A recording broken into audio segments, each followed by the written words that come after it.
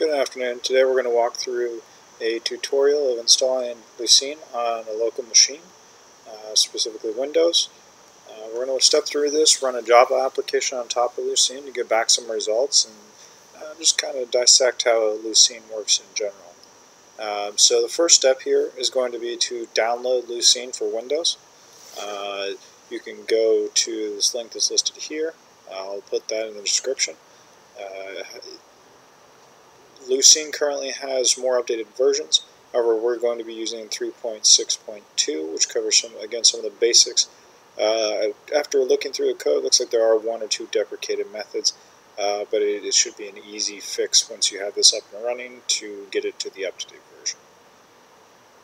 Uh, so once we, uh, so we can again we can navigate here uh, and download the zip file specifically for Windows. Once you've downloaded that, go ahead and extract it. And then move the extracted file, Lucene 3.6.2, into your C drive. Um, it's important to have it set up this way as, as in the application we have the local path set to this. So you'll see in here uh, the basic Lucene files. Uh, we'll also need to create two additional files here called product data and product index. So you have to, excuse me, I'm jumping around, around a little bit in the instructions here. But basically we need to create these and this will be the data that our uh, index uh, will be built off of. So take a look here. So you create, again, the file product data you put a couple text files in there. These are just test text files.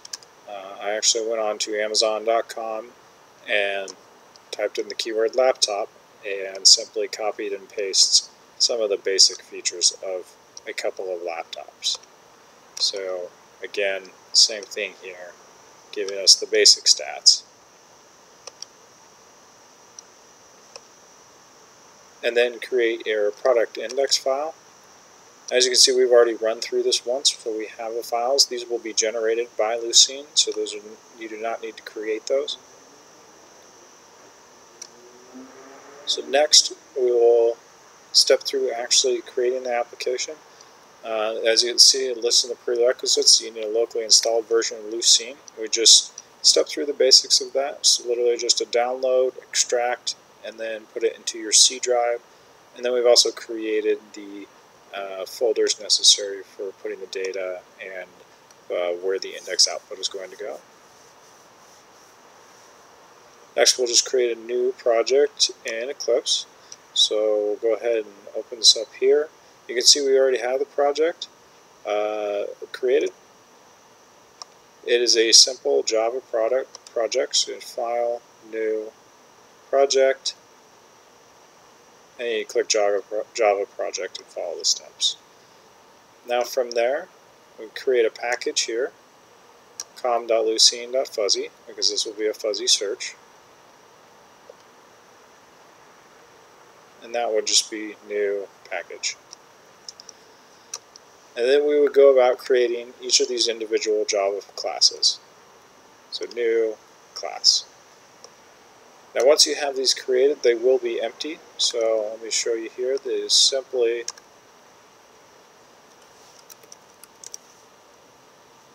when you create these, it'll look like this. It'll show that it's in the package, and it'll give you the basic uh, class instantiation. So we're going to go ahead. Uh, this is a prepared code uh, that was generated by the ISM class uh, of the MBA program at USF and the Masters of Data Science. So the Lucene Constants class is just, and the text file filter class are just basic classes that, uh, that handle, so the Lucene Constants uh, provides the file path uh, to the files that we just created, and the text filter is specifically looking for a text document. So while, so these are um, just additional files to ensure we've got the proper input and output locations. So you would copy and paste the code from here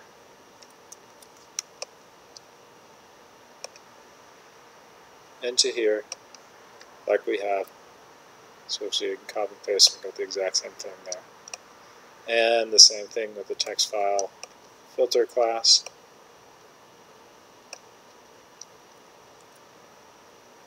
Perfect. Same thing. And then you can go through. Uh, the next is the indexer class. So this is the class uh, because uh, the way the search works is a inverse index. Um, so what it is doing is taking the documents and then recording the keywords in the different locations. Um, so when you uh, utilize this, it is looking up uh, the really the loca location of the document or the keyword in the document. So the indexer class is the first step uh, in the search process is going to index the document specific to how Lucene wants to see the index. So we copy and paste this code and as you can see we have it right here. So I'll scroll through that just so you can see all of it here.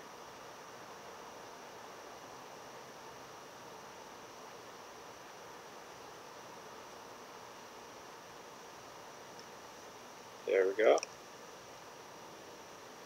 Next we have the searcher class.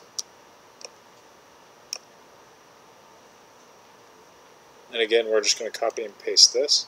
Um, the idea of the searcher class is that it's going to be performing the actual search um, and computing the vector difference. Um, so it's going to be looking at uh, how far apart these different items are in terms of similarity. Uh, and we'll see that in the readout. Their score uh, will be produced, uh, which gives us an idea of how uh, similar the term is to uh, or how, how likely it is to match into the document and give us what we're looking for. So that is your searcher class, and again, just copy and paste.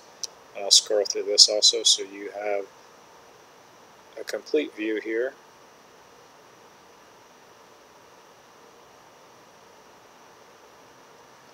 Okay.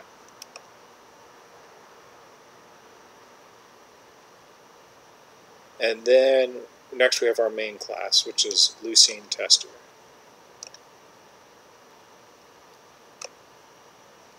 So again, we're going to copy and paste here. Um, what this is set up to do is it's going to, you manually set the path name here and the data directory. Uh, then you create an indexer and a searcher like we just described, so we're going to be using these two classes we just made. And a Lucene tester, which is our class here. Uh, so then we're going to run through, we're going to create the index, as you can see here. Lucene tester, create index. Then it's going to request that we input a search term. And we have the new buffered reader so it's going to read that in, run it through a couple try catches to make sure we got the right thing, split it into array, and then search. Uh, the way it's going to work is if we have a multi-word search, it's going to split it into array and search for each individual word, and then give us the resulting return, uh, give us resulting score for each word and the documents that it was found in. So you can see down here we have the methods that we call. And again, just scrolling down through here to give you a full view of all of the code. So let's go ahead and let's continue through here. Make sure, yep, it looks like and we, we did this step a little bit in advance here, uh, but this is, again, just creating uh, the product data and the product index file. And now we're ready to run our first search. So you can simply, simply click the run. Uh, always save resources before launching. So you can see here it read in our product text files. Five files have been indexed and it took about 80 milliseconds. Now it's asking, it's requesting we input a search term. And because these were laptop products, uh, I'm going to say I wanted a battery to last me 9 hours. And I'll just put 9. So as like I said, it breaks it down into two different words here. We have battery and 9.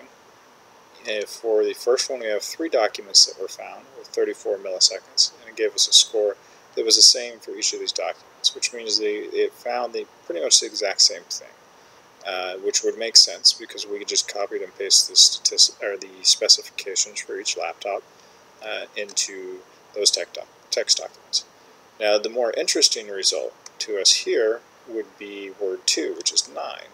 And as you can see, one document was found with the, uh, or with the number 9 in it, uh, giving us a higher score uh, because it was the only document.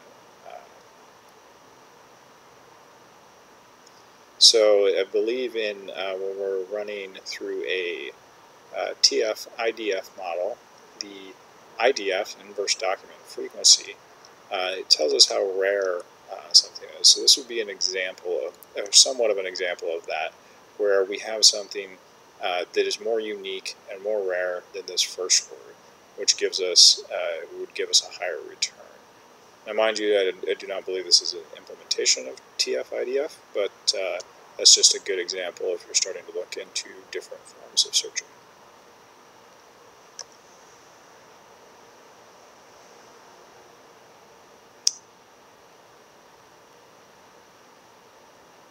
So these are the, the some of the final information here that we have at the bottom of the document. Uh, we'll go ahead and just read through this because it's uh, good to understand these concepts. So indexing is a process of one or more of the core functionalities provided by Lucene. Um, so as you can see in this index or in this diagram here, we have the documents, and each document is basically a, a bucket with a bunch of words. So we have each field in here. The analyzer looks uh, at each field and then writes it to the index, which is our directory. So it's, you think of it as the yellow pages, how the search is able to look it up. Um, so we add the, the documents containing the fields, and the index writer analyzes documents. Analyzes, creates, and opens index, and stores each in, in a directory.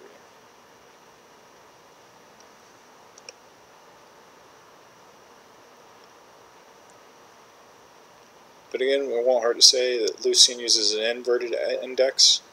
So as an index uh, technique, a dictionary of each word is uh, occurring in all documents is made. Each word information about the word occurs is stored, so something similar to this. So as you can see, we have cosine is in document 1, 4, and 7. So it's got the black arrows here pointing. That's what we were talking about earlier, is that we have this inverted index. And so then we have pack, and pack only shows up in one of the documents. And then ship also shows up in one of the documents, document number 4. So that ends our basic tutorial uh, with Lucene and a very basic Java application. Thank you for watching.